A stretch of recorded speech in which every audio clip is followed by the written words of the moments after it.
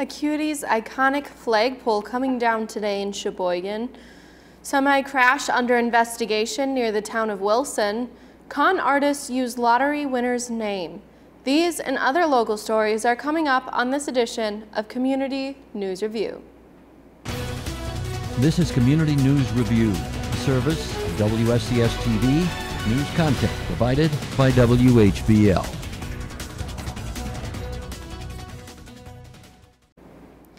I'm Maddie and this is Community News Review for Monday, July 29th, 2019. An accident investigation is ongoing after a semi ended up on its side here in Sheboygan this morning. It happened around 8.30 near the on-ramp to the County Road V and I-43, which is near the town of Wilson. The cause of the crash remains under investigation and no word yet on any injuries sustained in this crash.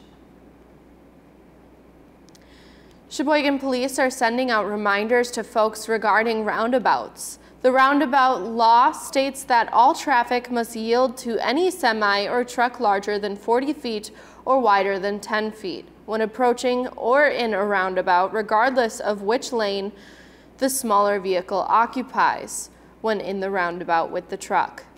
The state law passed in February of 2016 also states that the semi-trucks can legally occupy the space they need to negotiate a turn, which often includes cutting into the next lane while turning in a roundabout. Furthermore, police say when two trucks enter a roundabout at about the same time or closely as to create the collision hazard, the truck must the truck on the right must yield to the truck on the left and if necessary, reduce speed or stop in order to yield. According to the Sheboygan Police, folks also need to remember to yield to any traffic already in the roundabout and to any traffic entering the roundabout on your left. For a listing of rules, you can also visit the Sheboygan Police Department's website. Three people charged in connection with a human trafficking investigation are due in court in Sheboygan Court tomorrow. 50-year-old Randall Reichert of Kiel, 40-year-old Craig Burtis of Sheboygan, and 30-year-old Shakita Burton of Milwaukee are all facing prostitution charges. According to the court documents, they were all charged last month as part of a State Department of Justice online investigation into human trafficking. They were apparently busted after placing or responding to online ads for sex, and Reichert, Bardis, and Burton are all set to appear in court tomorrow. Another defendant in the case, Paul Louis of Plymouth, made his initial court appearance back on July 1st. One man is arrested after a suspected drunk driving crash from over the weekend here in Sheboygan. Police say the crash happened yesterday morning at around 2.30 at 3rd and Lincoln on the northeast part of the city. According to the Sheboygan police, a car with two men from Belgium apparently ran into a tree. Both suffered minor injuries and the driver was arrested for the OWI. There were 13 drug overdose deaths in Milwaukee County on Friday, Saturday, Sunday, and early Monday morning. Three people died within an hour on Sunday, and the Milwaukee Journal Sentinel reports that most recent death happened at 1.40 a.m. Monday at the St. Joseph's Hospital. The newspaper reported five of the other fatalities were reported within a five-hour period on Saturday. Two of the deaths are related, a man and a woman who died on North Plankinton Avenue in Milwaukee on Saturday night.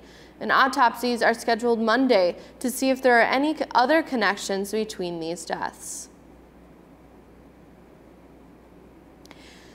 There are warnings about scams tied to the winner of the record-breaking Powerball jackpot from West Bend.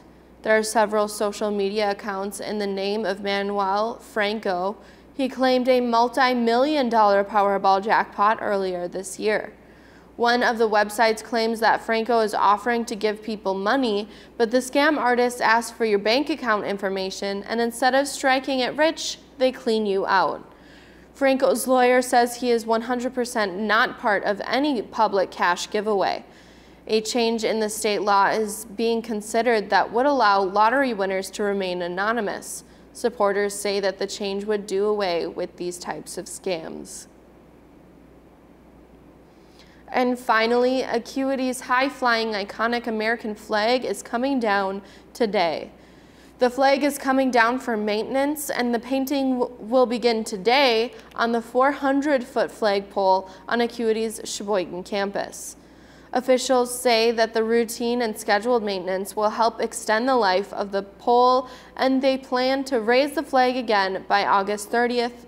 Acuity planned construction on its flagpole in 2014 and according to Acuity's website it weighs about 420,000 pounds and is the tallest in the world. It takes about 500 gallons of paint to cover just the pole, which is 11 feet in diameter, and its base. And that's all we have for today. Join me again next time for another recap of our local news on Community News Review.